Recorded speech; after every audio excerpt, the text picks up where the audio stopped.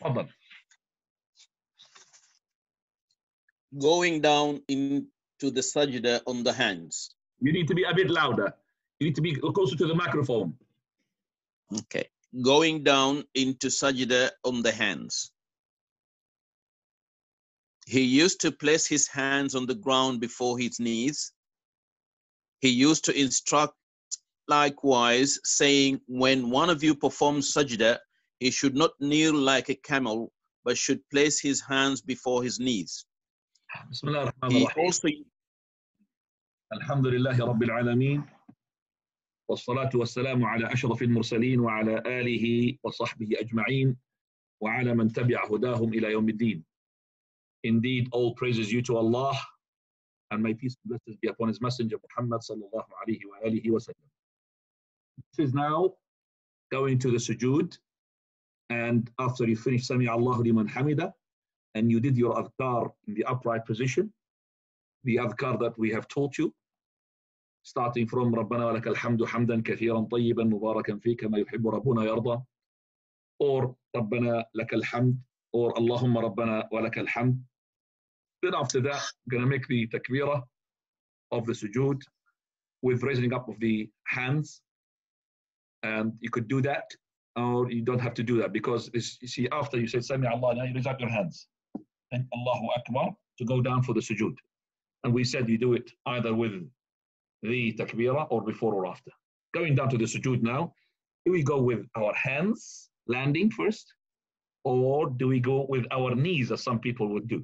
So he had put the title here to show you that what he's adopting, Shaykh Rahmatullah Ali, from the hadith of the Prophet and that is he used to put his hands before his knees. And he used to command doing that. He's saying, if one of you is to prostrate, then let him not to do the prostration and kneel down like the ba'ir. Ba'ir is the camel. And let him put his hands before his knees. طيب. Now this is the issue regarding that, which is ليضع يديه قبل ركبته.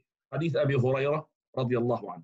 Let him put his knees before, sorry, his hands before his knees. Now, uh, how do we know about the camel? The camel has got four legs, okay? Four legs.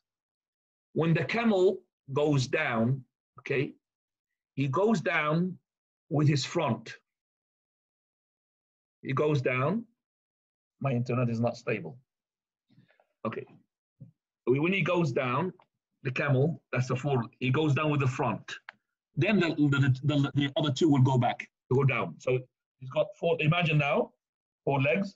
So the camel goes down with his first, the, the, the front one, and then he will go with the, the back ones. Okay, that's where the confusion is. So if,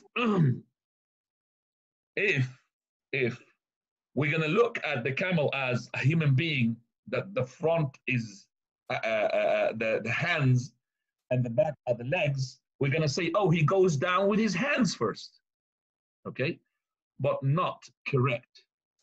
Because as we know from the scholars of the lugha the arabs that all the wat al-arba the four-legged animals okay? Four-legged animals.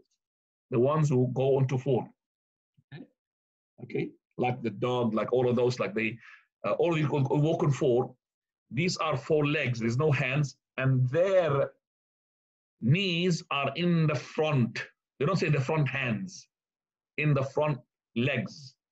So the camel, if you look at it, the front one, mashallah, it's got a massive, massive, like, uh, uh, uh, like, a, like our knee, you know, something that would protect him when he goes down. That's the one is called a rukbah. A rukbah. Okay. So the camel, he lands with his knees first as we are praying, we're being commanded not to follow or imitate any animal, whether it is one legged, two legged, or four legged. We're not allowed to imitate the donkey. We're not allowed to imitate, imitate the crow. We're not allowed to imitate the hen. We're not to imitate the rooster, the cock. And we're not allowed to imitate the monkey. We're not allowed to imitate the dog. And here we're not allowed to imitate we're not allowed to, to, to imitate animals. So when the camel lands with his front, where he lands on his knees, we differ from him, we land on our hand. Okay? So, and the hadith is clear. He says, let him uh, put his hands before his knees. Now, where is the confusion that took place that some of the scholars, they say like Sheikh Ibn Baz, Sheikh Ibn Uthaymeen, it actually triggered from the time of Ibn al-Qayyim rahmatullahi alayh. Ibn al-Qayyim, he had said that the hadith had been mistakenly narrated by the narrator and he had been confused and he put, instead of putting the hands on, on front, instead of putting the legs before the hands, he put the hands first for the legs. Because Ibn al-Qayyim, he, he, he basically, everybody's a human being. He had mistakenly didn't realize that the four-legged animals, their knees are in the front. Number one. So he lands with his knees. So we land on our hands. Number one. Number two. And that is to, to say that the narrator had made the, you know, swapping this in front of, instead of this, we're going to open a door here for anybody to say, well, this hadith is not correct. It's actually the narrator has done something wrong. It's supposed to be that way. So we cannot just open that gate and just say that, oh, the narrator in qalaba ala rawi in Arabic. In qalaba means like it is, he, he did not really make it correctly. Sometimes it's correct, but we cannot open that door. Number three, uh, Prophet this is going to be talking logic wise. Prophet's masjid is made of pebbles. Pebbles are very hard. Okay? Regardless of how soft they are, they're going to be hard. It's not like the carpet. Now, if we're going to be logically adopt the opinion of landing on our knees first, you try it. You put some stones and you land with your knees on your stones what's going to happen? You're going to have a kneecap. You're going to have a knee shattered straight away. One, because you're going to land like a boom with your knees, and that's going to hurt knees. But because some people land on their knees because it's a carpet, okay, that's why they don't feel the pain. But if it was a pebbles, you will fail. You will, you will know definitely that this is not the correct opinion. Also, if you ask a doctor, uh, and I have asked a doctor, and plus I had an old man who used to be in our masjid um, and still alive, mashallah, alhamdulillah. And he said to me that, you know, uh, uh, when he had heard my talk regarding this issue, he said, I went to the doctor of my bones, bone doctor, consultant. And I said to him, I do, you know, something wrong with my pain in my, my, my knees. So he tested my knees and he said to him, it's because of your prayer. SubhanAllah. And he's a kafir doctor, he's not a Muslim, a non-believing doctor It's because you pray. Subhanallah. So he said to him, because you pray, and that prayer of his that made it that kneecap, because he was landing on his knees. But when he realized from my talk that, oh, you land with your hands, much, much better because you land softly with your hands, and the knees goes first. Uh, after. When you go up, the knees goes first, then the hands goes after. So it's the opposite. When you go down, I'm going to put that now to you so you can just see what I'm talking about as a demonstration here.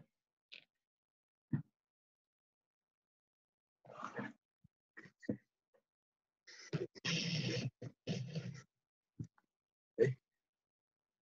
Right. You know, you could tell that if the person landed like this, he's like landing like, you know, it's a camel. Okay, and then he goes like this. That's a camel. That's a camel how he does. If the camel, if you see the camel, the camel does like this. Okay, that's how he does. So the person should be landing like this. So he goes with hand like that, landing slowly, and then his knees follow. So his knees will land slowly, and it will not cause him an injury.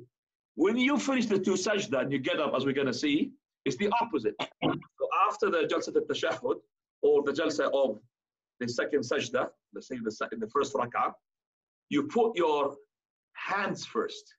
And we're going to learn as well. We're going to make like uh, kneading the kneading the, the dough. The dough. It's like you know making bread. I don't know if your mother does like this with the kneading the dough. Okay. So we do like this. Okay. Like that.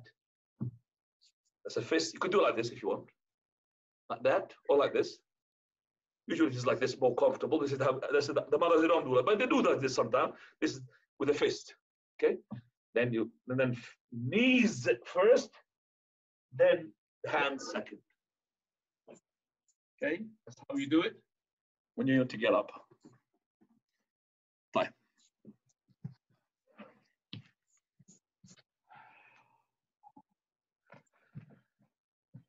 So we understood now the first point, second point, and third point. First point, we said that to uh, understand how the camel lands, because we know the camel now. Number two, as well, we can't say that this narrator had done something like this.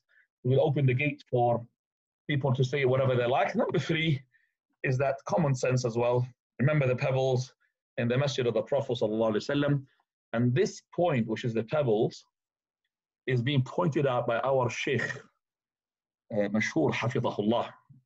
Uh, in my knowledge, I haven't read any scholar had talked about that, which is that the pebbles of the masjid there, if you want to try to land with your knees, you're going to be a, a disaster. Right. Now let's just go to the footnote that we have number five, which is after you have finished. You say, well, number five according to the Arabic language. It says there it's been narrated by Abu Dawood. Can you see that? Okay, right.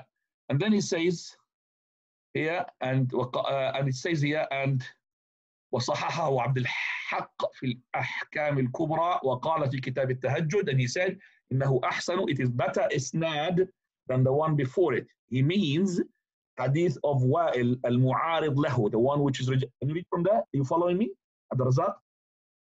Yes. Can you read from there, please, On that note? Uh, in, in, our book is footnote number three. Okay. So Abu Dawood. What, what I want is from where it says, and know for a fact that the differing of the ba'ir, the camel, that's from the point where it says the last word is al-irwa in my Arabic language. After that. The hadith, the hadith of Wa'il, which is the other way round, knees beforehand. In fact, the lat, the later hadith as well as being contradictory to this hadith and the preceding one is neither authentic in isnad nor in meaning. As I have explained in Silsilatul Hadith al-Da'ifa, number 929 al-Irwa. And 929 al-Da'ifa explains it properly then. We have no doubt whatsoever. And I know it for a hmm. fact, okay, number of students of knowledge of Sheikh Ibn Uthaymeen who are highly, like for example, Sheikh Salim al-Tawil, well known, he says that this is the correct thing. That the opinion is not to go on your knees, so he's actually going against the Sheikh, including the Sheikh al-Albani. Okay, now, and know for a fact, go ahead. It should be known that the way to differ from the camel is to place the hands before the knees because the camel places its knees first. A camel's knees are in its forelegs, as defined in Lisan al-Arab and other books of the Arabic language, and as mentioned by Tahawi in Mishkul, in Mishkal, in Mushkil al-Azkar and Sharh al-Ma'ani al-Athar. Mushkil al-Athar. Uh, Mushkil al-Athar and Sharh al-Ma'ani al-Athar Correct. Also, Imam Qasim al-Saraqusti, rahimahullah, narrating the Gharib al-Hadith with isnad, with Sahih isnad. Abu Huraira's statement, no one should kneel the way a runaway camel does. And then added, this is in sajda. He is saying that one should not throw oneself down as a runaway or untamed camel does, hurriedly and without calmness, but he should go down calmly placing his hands first, followed by his knees, and an explanatory marfu hadith has been narrated in this regard. He then mentioned the hadith above. Above. Yes. As for um, Ibn al-Qayyim, nah. as for Ibn al-Qayyim, extremely strange statement, these words are incomprehensible and not understood by the experts of the language. This is the, this is the, these are the words of Ibn al-Qayyim. Yes. Not, it cannot be common sense. And Luga, they don't know it. Go on.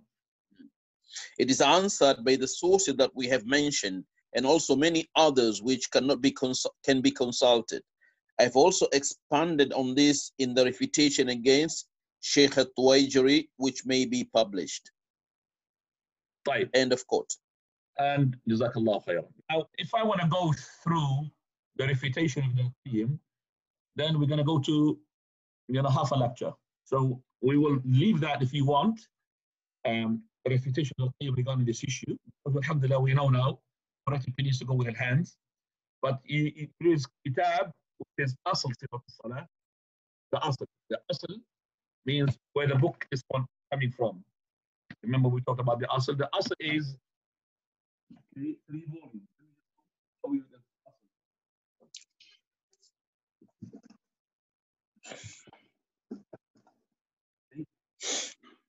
Right, I would urge you because in this asal, the Sheikh discusses this issue. So the asal is actually like this. There's three volumes. Hmm. Right, these are the asal. In this asal, the Sheikh discusses this issue of refuting the uh, Ibn al-Qayyim rahmatullahi alayh. Okay, and he does in about one, two, three, four, five, six, seven, eight, 9, 10, 11, 12, 12 pages. Right, now we go into the following subtitle. I don't know if you got that subtitle. The description of the sujood. You have that one, Abdul Razak? Yes, the sajda described. Oh, go ahead. He would support himself on his palms and spread them, put his fingers together and put them towards the Qibla. Uh, no, also, he'll put. There is one before that, Sheikh.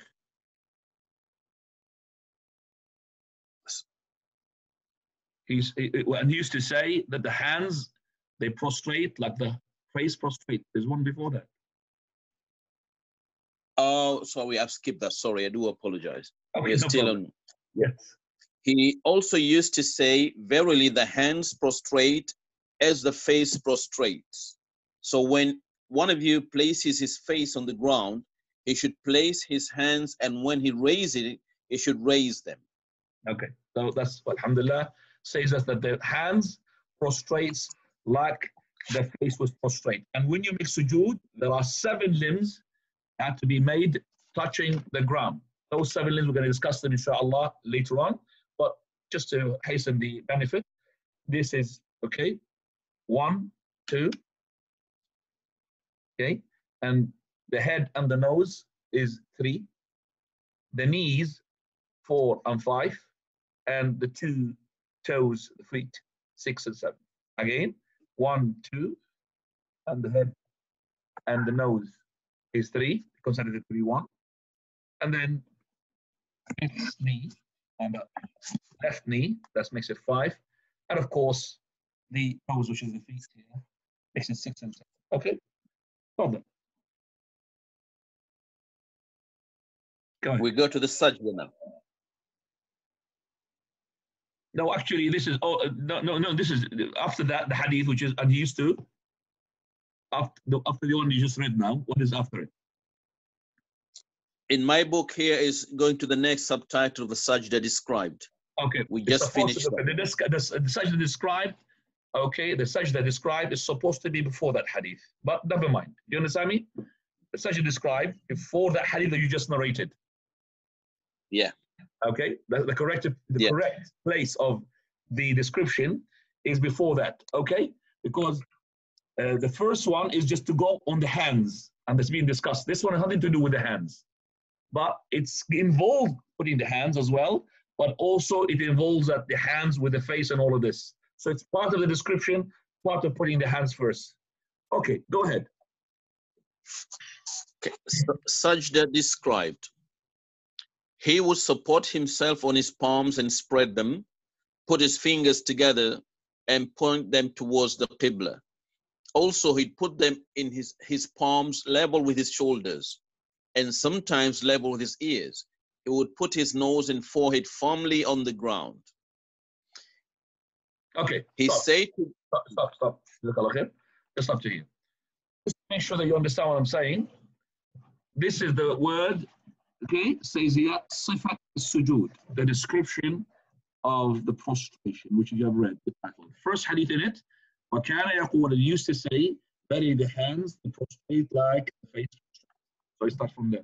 And also in my old book, I've got Sifat Sujud, which is here on that. That's why I just said, maybe the translation had made it dua after the hadith. That's number one. Number two, that is when we make the sujood, he says, he's to basically depend upon, let's just say I'm on the table now making sujood.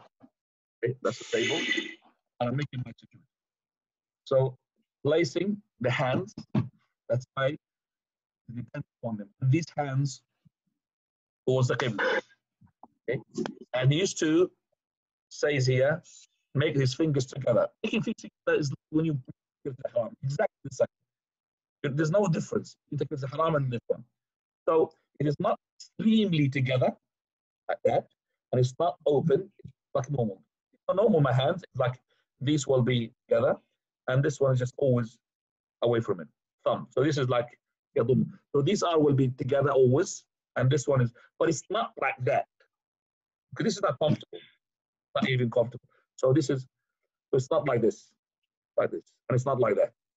Okay, so so this is now, and then he says towards the qibla. Now, when he prostrates as well, he puts his head in such a way that these hands will be in parallel, okay, to his, okay, it says here, the shoulders, or parallel to his ears. Okay, so that this one, thumb, either in parallel to the earlobe or they're in parallel to the shoulders. Okay, so this one will reach the upper hand, the upper ears, the upper of the ear, like that, or a bit down. Okay. So what Muslim people they do? They put the hands away from the head like that. Okay? Or they put it too much there. Okay. That's number two. And, and, and he says here, he puts the nose and the face. You did not put the nose, your prayer is invalid. Go ahead. He said to one who prayed badly, when you prostrate, then be firm on your prostration. And in one narration, when you prostrate, put your face and hands down firmly until all your bones are relaxed in their proper places. Mm. He, he also used to say, there, are no, there is no prayer for the one whose nose does not feel as much of the ground as the forehead. And this hadith is important. It tells us here that if the person did not touch his nose onto the ground, his prayer is invalid because he said, La salata. And here the negation is for the core of the salah. La salata liman la yusibu anfuhu min al-ardi ma yusibuhu al-jabin. طيب, so ma salata, that means the whole salah will be invalidation. Will be invalidated, will be negated. La salat, la salat, if you don't do this. So your nose has to touch the ground, and we find so many people touch with the forehead, and their nose is up above the ground, it's not touching. Go ahead. He, he used to put his knees he used to put his knees and toes down firmly, point with the front of the toes towards the Qibla, put his heels together, keep his feet upright, and ordered likewise. You keep his feet upright and and he would put his heels together. Yes, you said, right? And he would keep his feet upright and ordered likewise. Well, there's something else to that as well. He used to وَيَفْتَخُ أَصَابِعَهُمَا. He would separate between his toes. Doesn't say that? It doesn't say he just keep his feet in ordered like he was only point with the front of the toes towards the qibla. That's all what is in the on the Okay, let me translate it according to what is the Arabic here, because it's a very important point here, as one says here. He used to place his two knees and his, his feet on the ground, and he would uh, make his toes facing the Qibla, and he would mm -hmm. put his heels together, yes? That's correct. And he will put his feet upright, and this is how That's he's being commanded. After that, and he used to separate his toes. Okay, separate, and I'll show you in a minute. And this is number nine, separating his toes. This is Abu Dawood at-Tirmidhi, and he made it sahih. Do you have that footnote for that? Dawood at-Tirmidhi, Ibn Majah, and Nasa'i, Dawood, Abu Dawood at-Tirmidhi, Nasa'i, Ibn Majah. You got that one? Footnote number. Okay, when it says the last, the last point, it says what he and he was commanded with. Yes, what does that footnote for that? What does it refer? number 14. Yeah, show me. What is it? What does it say? Number 14 says Tirmidhi and Siraj Hakim declared it Sahih and Dahabi agreed. Well done. Now, is, is there any footnote after that? What's the following footnote? Before that, not after that. No, That's no, the last I one. after that. There's no after that? No. Ah, so you have to add it. Your book maybe is the old version. So when you need to add, and he used to separate between his toes. And there's a footnote, which is could put number number 15 now. And that is Abu Dawood at-Tirmidhi, he made it Sahih, and Nasai ibn Majah. Okay? Yeah. Right. And it says yaftach. He explained the word yaftach. So that means he would bend them towards the, you know, he bends them. I'm going to show you now, inshallah. Right. Let me just finish, first of all, the description and we'll go describe it. Go on. Go ahead. Finish, and then I will. Hence, Yeah. okay, hence, these are the seven limbs on which he sallallahu alaihi wasallam would prostrate: the palms, the knees, the feet, and the forehead and nose, counting the last two as one limb in prostration. As he wasallam said, "I have been ordered to prostrate." In one narration, we have been ordered to prostrate on seven bones on the forehead, and he indicated Like this. He did like this, indicated, pointed Yeah, to the he- nose. by moving by moving his hand around his nose, the hands in one version, the palms and knees and the toes, and not to tuck up the garments and hair. Right. Let's just explain this hadith. Basically, that the Prophet he had made the nose and the forehead is to be one limb. So he said, I have been commanded, or in another narration, we have been commanded to prostrate on seven. Then he pointed to the jabha. Jabha is the forehead. And when he pointed to the jabha, he moved his finger to the nose like that. So this is called one limb. Jabha and your nose, forehead and the nose. And then hands, the knees, and the end of your feet. And then he says, وَلَا نَكْفِتُ نَكْفِتُ ثِيَابًا وَلَا شَعْرًا نَكْفِتُ ثِياب is that with, if you, for example, have a, let's say, a cloak, we don't really roll it. So الكفت الثياب do you have a footnote there which says that for the كفت الثياب you could read it in English for me Number two, uh, to draw them in, uh, to draw them in and prevent them from being scattered, meaning to gather the garment or hair with the hands for ruku and sujud, nihaya. And this Right. forbiddance is not only during prayer. The majority of scholars, including include tucking in the hair and garment before prayer in the prohibition. This is further strengthened by his forbidding men to pray with their hair tied, which follows later. Right. Uh, right. Ma- we're going to be talking about, inshallah, the ma'qus al-sha'r in a minute, which is the tied up hair.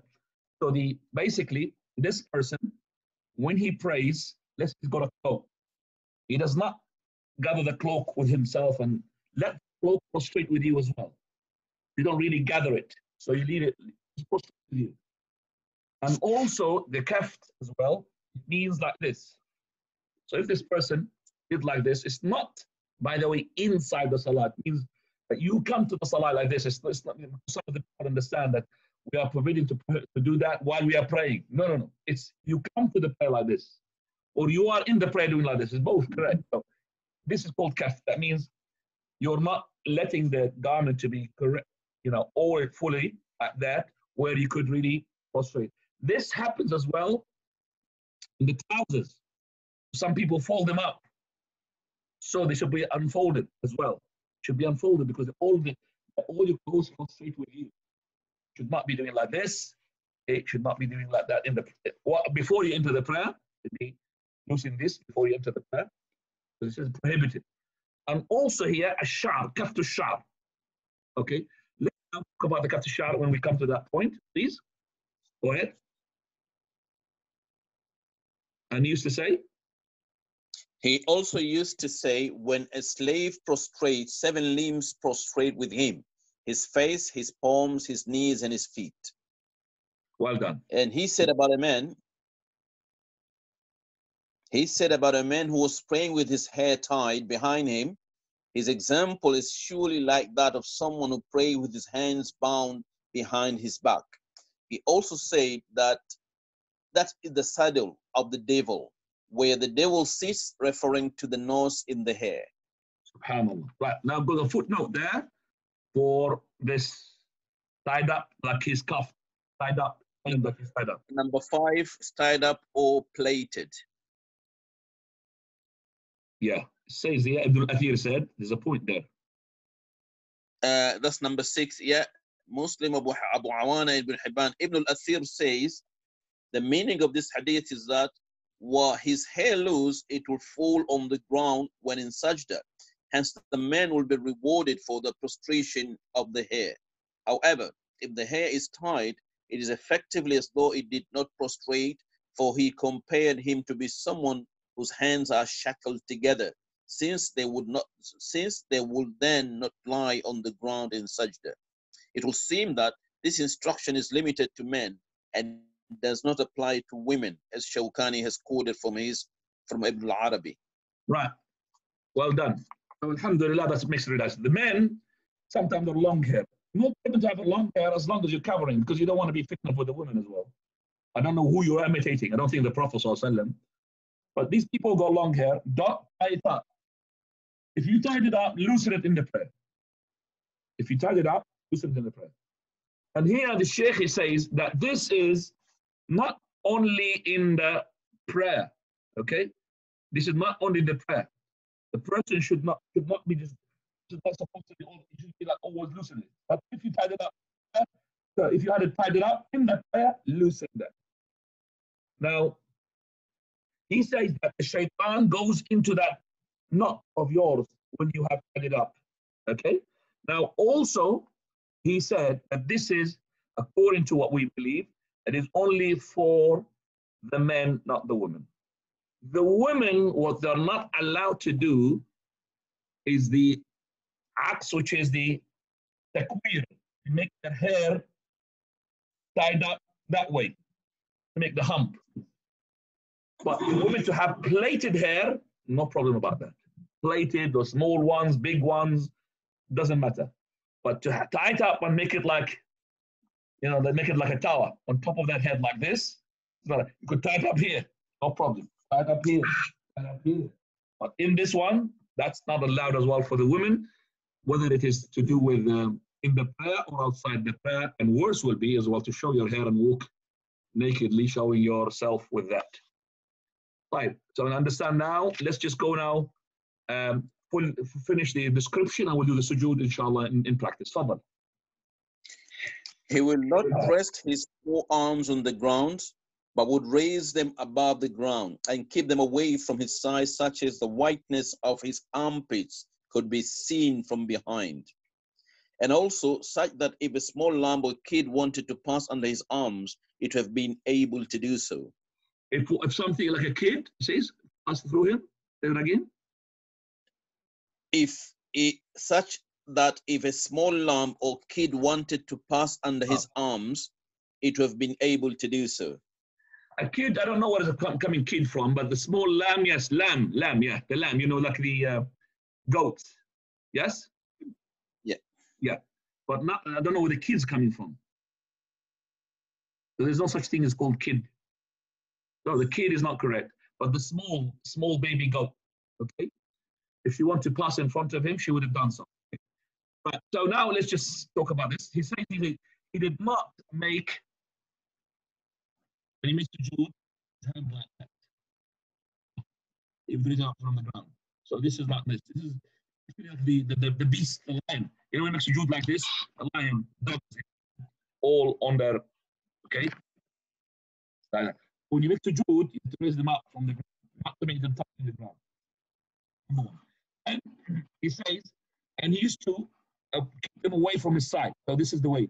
As long as you don't really tease the one who's beside you, you to you. But if you're an imam, you can do it. If you do like this, you make sujood, then a baby goat can pass between your arm here and underneath your body and from the other arm. But if you did like this, it will be difficult. So that's how it passes. Okay, between you, it will pass. That to the extent that is the whiteness of his underarm, it will be shown. That tells us as well for those people who recite Quran from the book, and they do like I've seen them doing, and then they recite in the Quran like this, and they do like this. They will not be applying the Sunnah because as soon as they do like this, it's going to fall out from them. So it's not going to be applicable. And we say that's why we say don't really recite from the Quran, recite from your memory. So this will, as I said, will tie them up. You can't really move, move. Some of them now they have, mashallah, small Quran, they put it in the pocket, but still you put it in the pocket, under the pocket. We talked about that issue in my lectures regarding Tarawih prayer. Right. So Alhamdulillah, now we understand uh, what we need to do regarding our arms. Let's continue, please. He would do this to such an extent that one of his companions said, we used to feel sorry for the Messenger of Allah sallallahu alaihi wasallam because of the way he kept his hands away from his sides. Allahu Akbar. That means how tiring for him, the Prophet to do that. Okay, and that is for men and women, because women they think they, they have to do like this because they don't want to show their, you know, their breast. Okay, that's not correct. Because the women are not supposed to be praying in the presence of non-maharim. They shouldn't be having namaharam behind them to look at them. Okay, that's why they should be play, praying in either behind the namaharam behind them or in an area where the walking people they can't see them because they can't really look at when they prostrate, for example. Uh, so the women they pray the same thing, men and women. Now, nah, He used to order likewise, saying, When you perform sajda, place your palms on the ground and raise your elbows and be level in sujood. And none of you should spread his forearms like the spreading of a dog. This in is one which is- narration, which is this one. So if you do like this, this is the dog. The dog he puts his, you know, when he do, the dog does like that, doesn't he?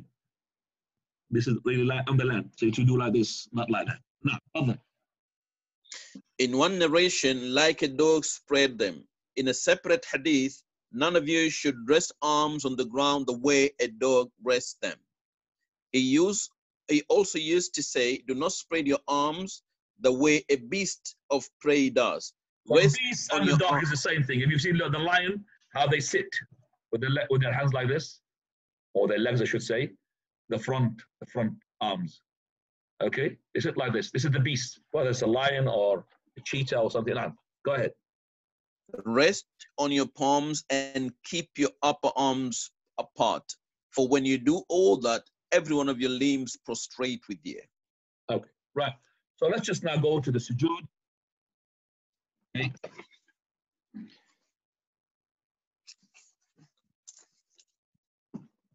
Right. Okay. Right. We said that when we go down from okay, we go down on our hands first, then the knees. Our hands are these fingers together. Mine, by the way, this one is always like this. This is the natural life of me. If I do like this, it's going to be hurting me. So that's why it's separate. Some of you, maybe even some of them got like this, but you know, the natural way. You're not really exerting pressure to really put them together. So this is natural for me, and this is natural as well for me, for two fingers here. Okay. So I'm pointing towards the Qibla. Okay. And then he says as well that when you put your head Okay, your head is between your hands like that. Can you see that? Yeah. With your head like this. So your hands, this one, the top of it, is in parallel for the top of your ear, or you could go a bit down like that. So like this, or like that. You see, look how the companions, the companions are so precise. You can do it like this. Can you hear me, guys, or you can't hear me when I'm in the sujood? We can hear you. Ah, okay, good. Hear me, alhamdulillah. So, uh, like this. Okay, and then he says, don't put your arm, your elbows, sorry, on the floor like that. This is the beast or the dog. So it could be like this. And don't make them like this. Whether it's woman or a man, them like this. So even the armpits would show the whiteness. But if you are praying in a jama'ah, don't tease the people who are next to you. Okay? So we got now also the head and the nose are touching. Head and the nose are touching. These are pointing to the Qibla. These are away from my arms. They are away from the floor. Okay, now we come into the back. These are, okay. Now, right. Let me, see. subhanallah. We need a microphone here.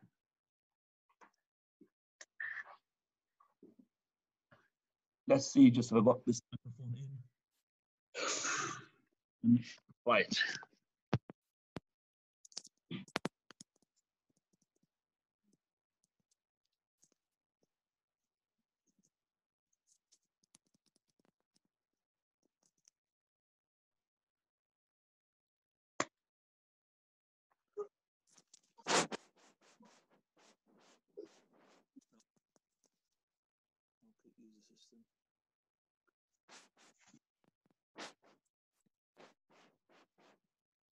Not working.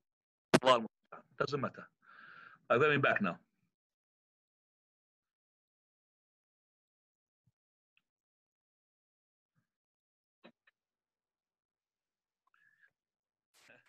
A microphone which is wireless.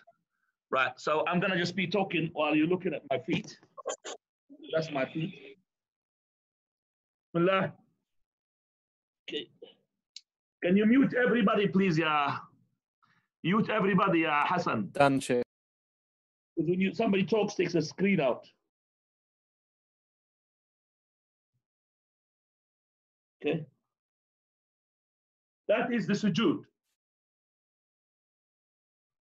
Right? So I'm going to show you side picture of my toes. That's how my toes look like. Okay?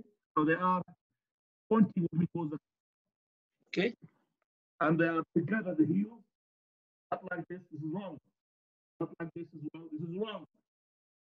This is wrong. Not like this, this is wrong. Like that. Okay, and okay, and I, when he says here that used to be uh, the last we added is this. On the floor, like this, like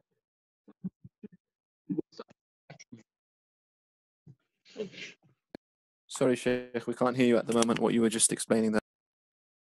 Okay, I don't know uh, how far did we reach where I said that when you press it down, the toes will separate. Sorry, Sheikh, your voice is gone again. We, we can't hear that part when you're speaking.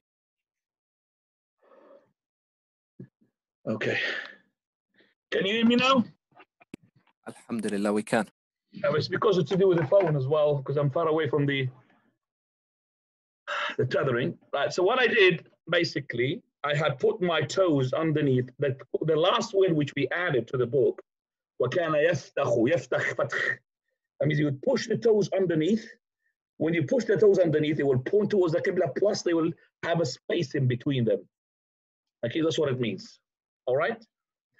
I hope that, alhamdulillah, I have explained the way that the sujood is proper, inshallah. And uh, we're going to open now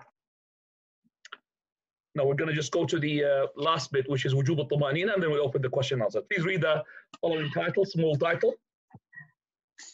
The obligation to be at ease in sujood.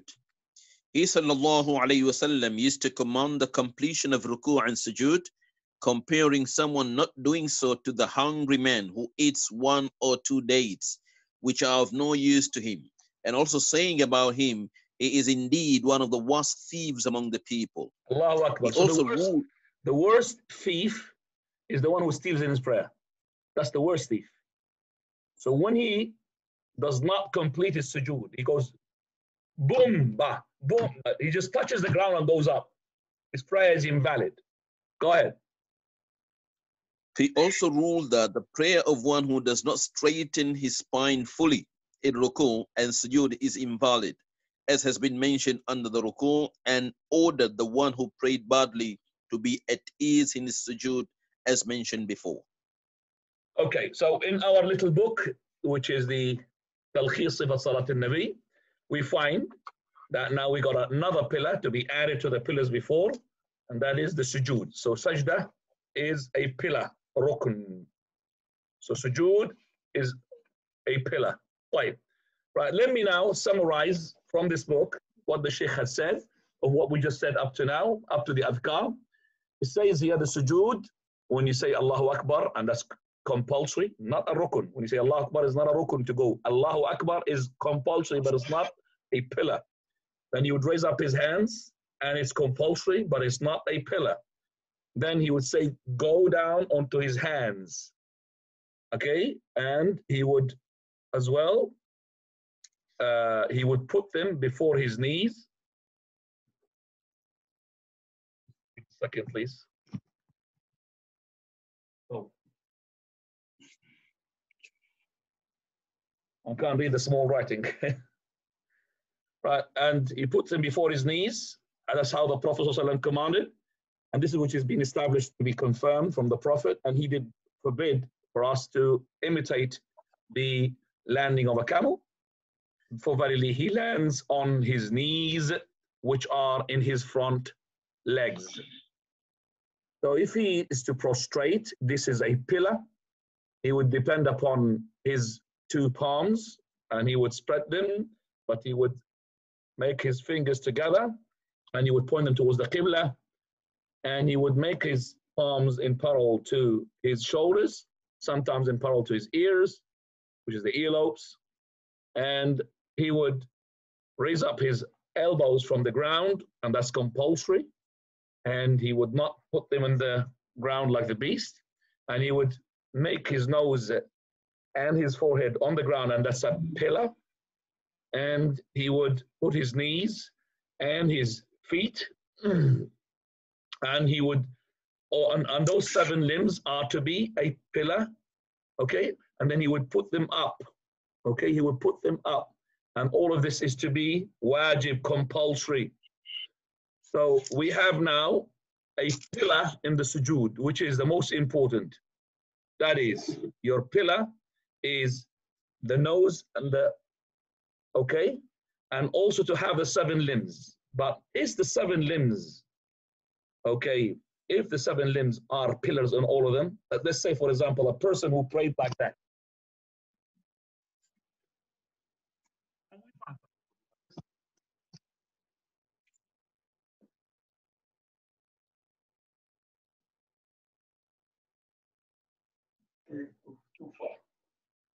Too far. Allah.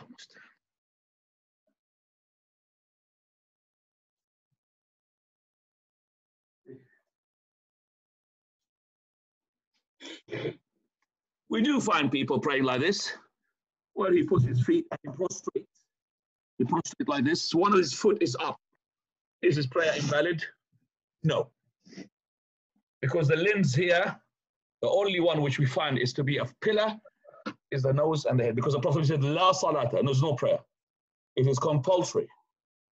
If this person, for example, let's say he was lazy to put one of the hands, he had sinned but his pillar is not his prayer is not invalid. Is for example his knees, he raised it up a bit, did not touch the floor, is a compulsory, it's not a pillar. But what is pillar? Is the nose and the forehead, because we mentioned in the hadith, la salata.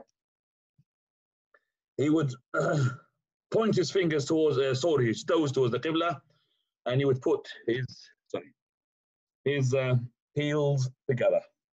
Right. Now we inshallah, uh, go to the adhkar not today, but inshallah in the following month. Hopefully, hopefully there will be no lockdown, inshallah. But I doubt it because we haven't done anything properly to make sure that we're going to be safe against this virus. We ask Allah subhanahu wa ta'ala to protect us and we ask Allah as well to have mercy upon those people who have died and to grant them shahada, inshallah. And ask Allah Azza wa Jal to uh, make the Muslim people uh, understand and pay heed uh, to uh, all of that that is being taken place and to respect and appreciate the blessing that Allah had taken them away, taken them away from them, which is the masajid now. I mean, yesterday I prayed the Taraweeh night with my family. Um, yani it's not the same as the masjid. No way. No way when it is. Ramadan is all about socializing, to come together and all of that, especially the Eid is coming as well. Allahumma musta'an.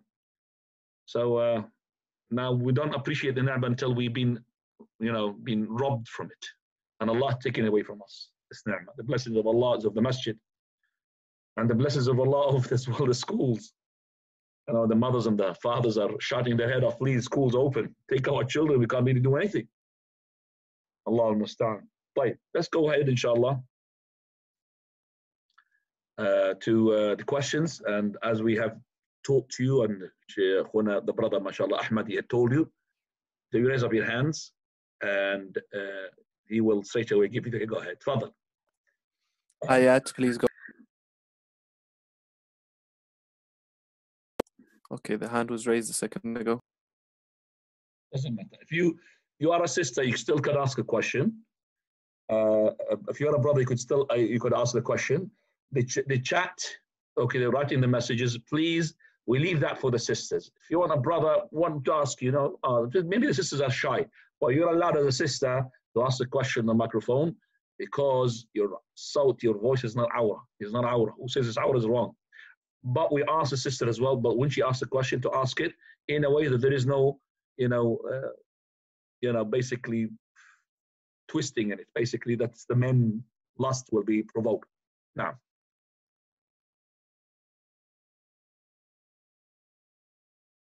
Can I ask a question? I can't raise my hand as a co-host. We'll have to just give the priority to the brothers there. Right. Maybe they can't raise up their hands. If you wanna, okay, I'll give you the go ahead to. Please, please, everybody, unmute. Uh, sorry, mute yourself, please, everybody, because I'm gonna give now to unmute everybody because I know there's gonna be noise now. So please make sure that your microphone is muted, so you could have the opportunity to unmute yourself without putting the hands up. I told you. I'm still gonna have some people. Allah Mustan. Allah Mustan. Right.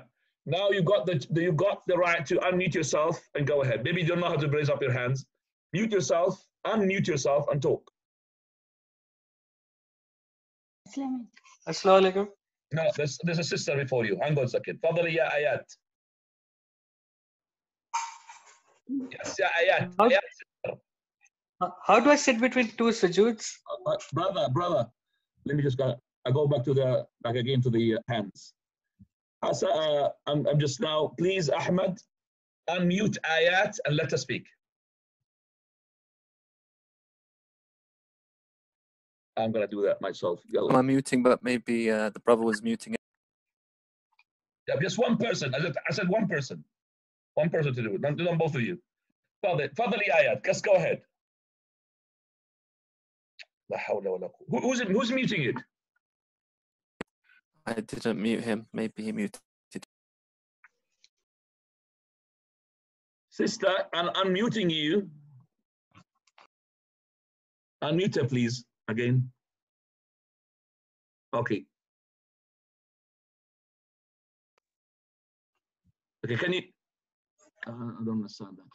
Right. Right, we'll forget because uh, uh, the sister, she was asking a question. The brother came in front of her. Assalamu alaikum. How do I sit between two sujuds? How do I sit between two sujoods? Okay, Yes. we, haven't, we haven't arrived to that point. We are in the sajda first. Okay. between the two sujood, we really haven't arrived to it because you're going to be explaining another class now. Yes, I Jazakallah. Jazakallah by the way, Ayat is a, a female name as well. My daughter is called Ayat.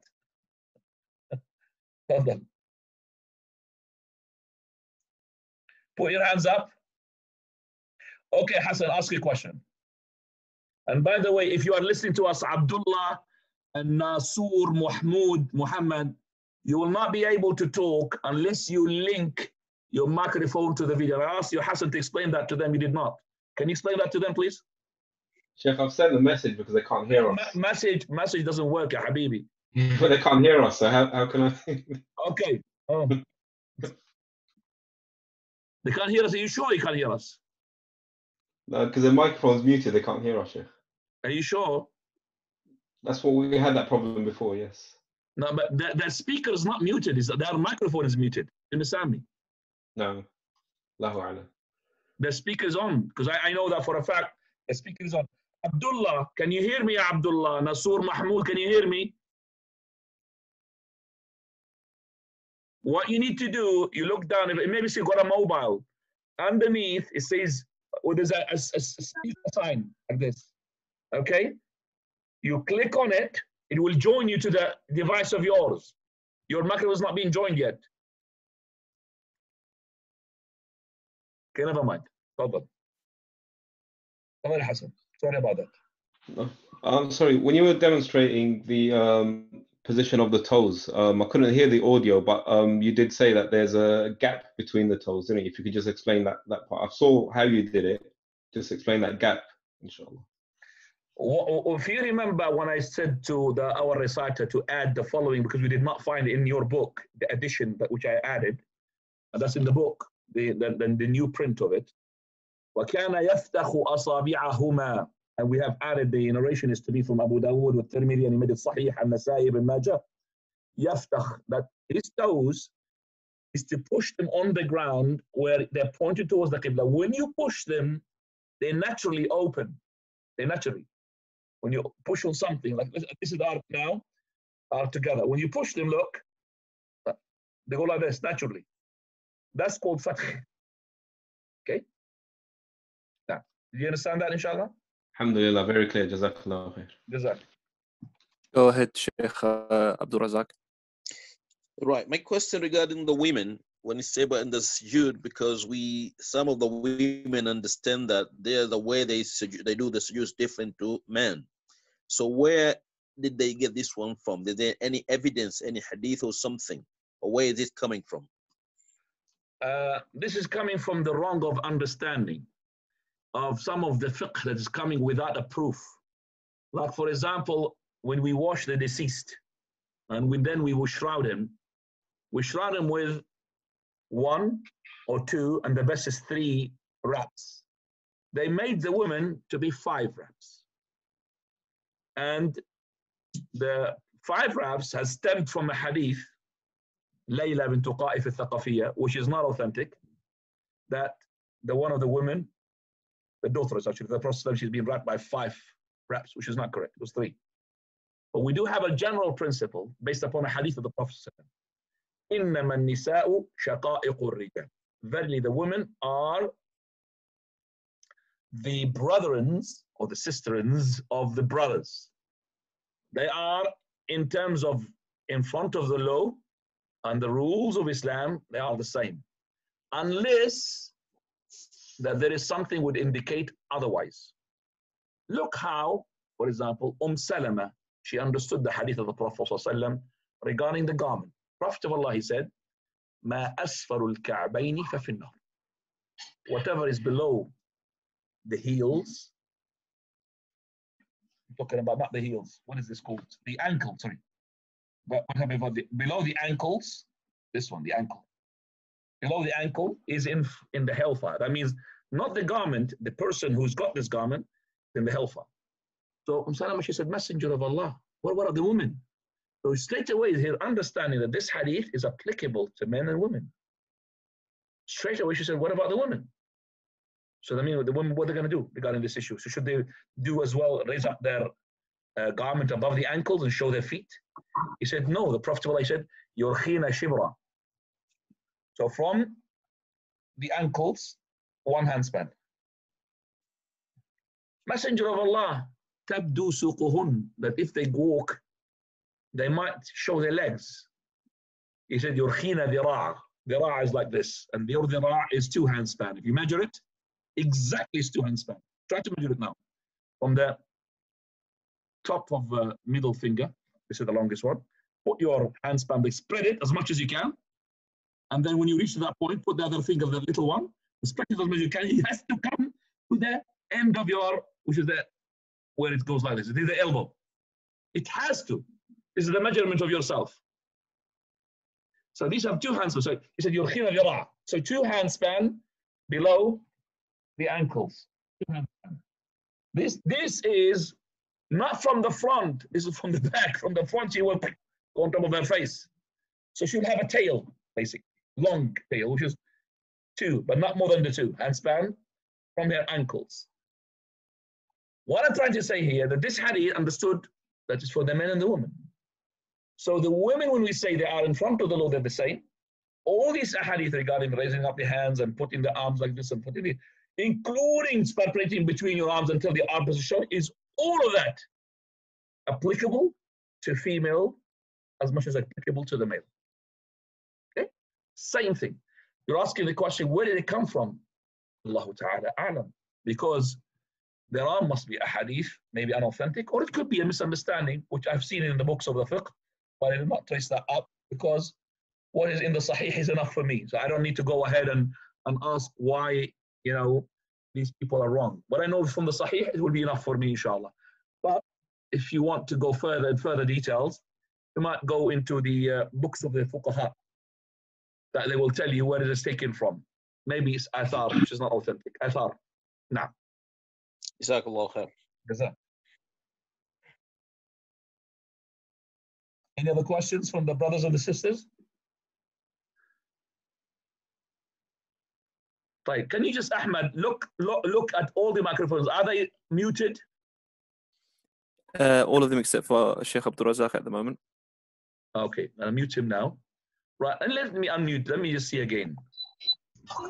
Still. Okay, can you mute everybody? Mute them, uh, mute them as in.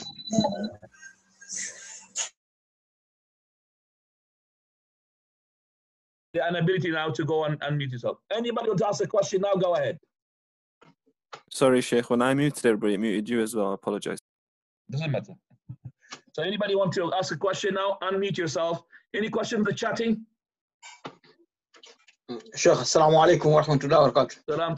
I knew that you couldn't really raise up your hands. I, I knew it. Did you know how to raise up your hands?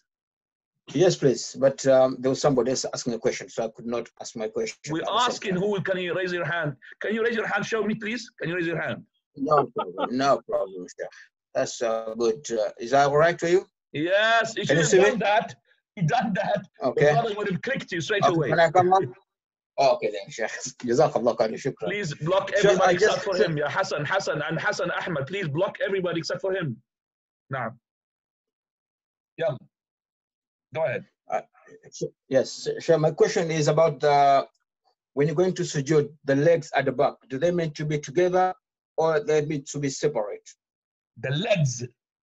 Yeah, uh, your feet are meant to be together, or you don't have to put them together, or you have to So separate let's just them? apply what you are thinking. It, will not work. You're saying to me, okay, so my, when I'm going to be sujood, I'm going to be like this? Oh no, no, not like that, Sheikh. When the when the toes, when you're bending your toes down, Yeah. and then uh, you put them together when you're in sujood. We said that. These are together. We said that. We said are together. We said it like this. Can you see that? Yes. Ah, What- what okay. it means in the front, in the front like that. They're not like this. Okay. You, you can't you can't sit down like this properly. You can't, you're gonna fall All right. like this. Okay? Okay. I missed the other part, you know, before I didn't. uh, Yeah, yeah, no problem, inshallah. No problem. I want to I want you to interact. Jazakallah khair. Barakallah, Okay, shukran. mute him, please, straight away, Hassan. And uh, let's go to somebody else. Unmute yourself, brother, and ask the question. Any person. Sheikh Ishaq. تفضل مر- مرحبا شيخ كيف حالك؟ الحمد لله توقيع بدك توقيع؟ التوقيع. التوقيع كان جميل شيخ ما شاء الله طيب آه، خير إن شاء الله طيب any, any, any suggestion any question do you want I was asking Sheikh the the suhoor end have you seen my question? Uh, on Oh. WhatsApp today. No I did not. Go ahead. What is that question? The question for in our mosque we don't put yeah uh, the end of the suhoor. Just we put the salatul fajr time. So the people asking us here why we don't have the the end of the suhoor. Ah you mean you mean So- time for imsak. Time for imsak ah imsak means abstaining from food yeah okay That is so you can that is a bid'ah which is being done in the past in our masajid, not anymore, which is about 20 minutes to half an hour before Fajr time, they will put you a time that you should not eat food. Subhanallah. Okay, they say this is out of precaution. Out of precaution. We have to understand, uh, mute everybody please.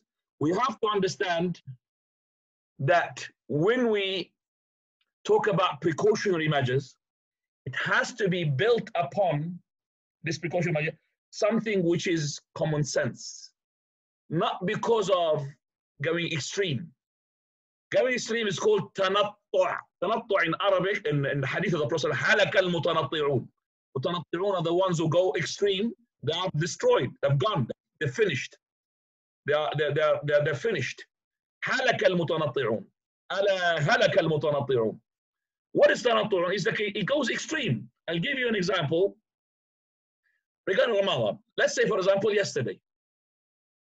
Yesterday was the 30th of Sha'ban. So this person, we did not cite him beside the moon. He says, This person, he says, Let me fast yesterday, which is Thursday. Let me fast yesterday. In case it could be, okay, Ramadan. So maybe they're mistaken with the sighting, But make an extra day. That is prohibited. This is tanattu' which has no basis and foundation. Why? Because the Prophet said, Sawmukum yawma tasumun. Your fast is when everybody fasts. وفطركم يوم تفطرون. And your Eid al-Iftar, it will be exactly the same when everybody makes Eid al-Iftar. And وأضحاكم يوم تضحون. And your Adha day, the 10th of Dhul Hijjah, when you sacrifice, is the same when everybody does so. It is not. Here, the Islam allows you as to have your own Ramadan, an own Eid al-Iftar, an own Udhiyah. Imagine somebody is going to the Eid, Labbaika, uh, Allahu Akbar, Allahu Akbar, Allahu Akbar, and there's nobody. What, what's, what's wrong with you, brother? Oh, well, I'm doing Eid. But Eid, brother, hasn't been shown. Eid is actually tomorrow. Or the Eid was yesterday and he's doing his own Eid the following day. SubhanAllah. So we, we, even if you've seen that moon with your own eyes, that tomorrow is Ramadan, let's say Thursday, Al Khamis. But the court and the Muslim did not take what you're citing. You're not allowed to make your own Ramadan. You have to skip that and you say, khalas. Even I it, wallah, 100% I saw it, but I can't. Unless you are in a, in a place which is nobody there and you are not in communication with anybody. So you do your own Ramadan, khalas, on your own. But if you are with the people, you have to be with the people. So this is called tanattu'. This is called tanattu'. Has no foundation. Same thing here with making abstaining. We know that the Fajr adhan, still in itself, in itself, the adhan is not even correct. There's a precautionary period in it. There's a precautionary time in it. Subhanallah. So we find, for example, the masajid and the Fajr, they differ. In this country, they differ so much. In our countries, the Fajr itself is at least 15 minutes before Fajr at least in Sheikh Al-Albani's place where you used to see it, 17 minutes before the Fajr time The Adhan of the Fajr. So we have Adhan al-Fajr before the Fajr, and we have the time of Imsak, abstaining from the food, even before the time of the Fajr, subhanAllah. We are abstaining about, about almost an hour before the real Fajr. This is, this is against the hadith of the Prophet of Allah. لا تزال أمتي بخير ما أخرت سحورها. My ummah is upon triumph, upon victory, upon happiness, upon all these things which are good, prosperity, as long as they delay the pre-dawn meal. But this guy, they want to bring it forward earlier. SubhanAllah, bring it earlier, backwards. What, what, what should you do that when you know the Fajr prayer, the Fajr adhan still? Yes, you should take precautionary if you didn't know. But Alhamdulillah, we know, Alhamdulillah. If you didn't know, oh, my Fajr, well, I'm not sure. So I will take precautionary for my uh, iftar and I take precautionary for my salah. How? I don't have any. Uh, I don't, the clouds there. I can't see anything. There is no timetable. There's no masajid. There's. I'll take precaution. I will abstain before because I can't see the fajr, for example, and then because there's lots of crowd. We'll do that. But with the prayer, I will delay so that I make sure that my prayer is on time. When we know the times and everything, we got everything there. Subhanallah. Right. Now I looked yesterday at the Fajr of because I haven't had some of the timetables. You are in Northampton, you are higher than us in altitude than, for example, in London. We are based here. If I ask you now, okay, what time is your adhan of Al Fajr? Please. According to your timetable. Our Fajr time today was uh, 402. Okay, hang on a second.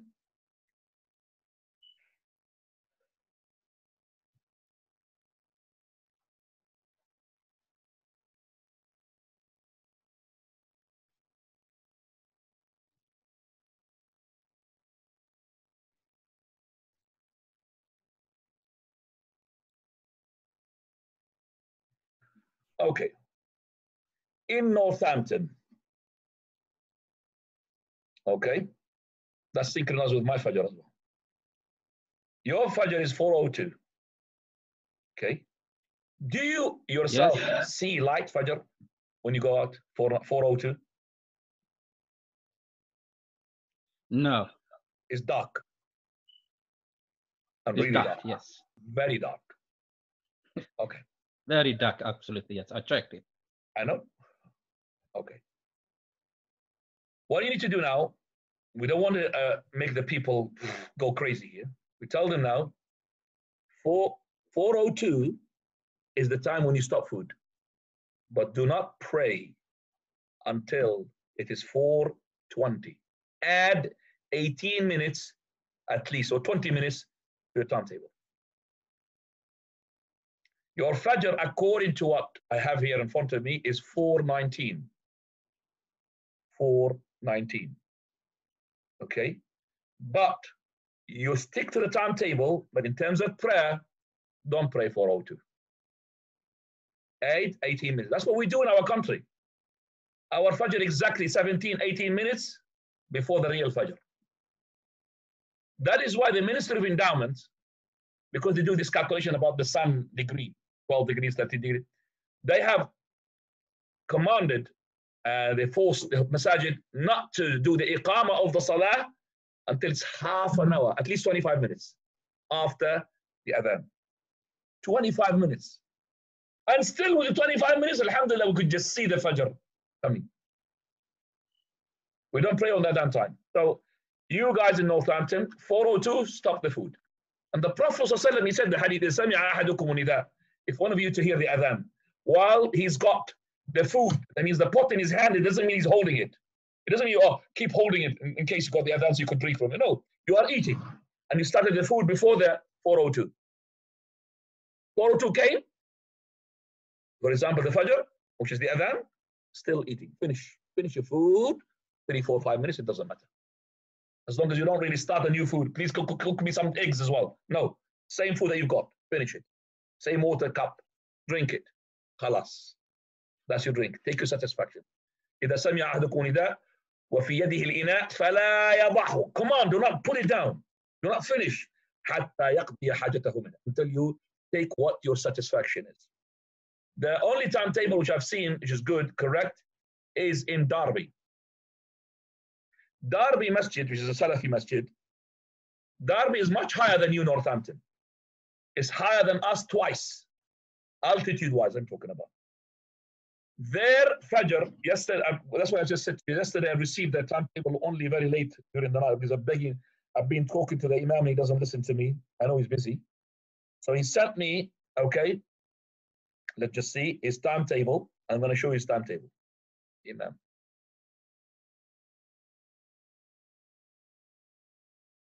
Imam. Abu al-Hassan. Yes, that's the one. Okay, right. The first day of the Fajr, which is yeah, today, the Fajr, 413. You expect him to be what? 355, 345, because he's higher than you are. It's 413. Now, I, my Fajr here, I was looking outside.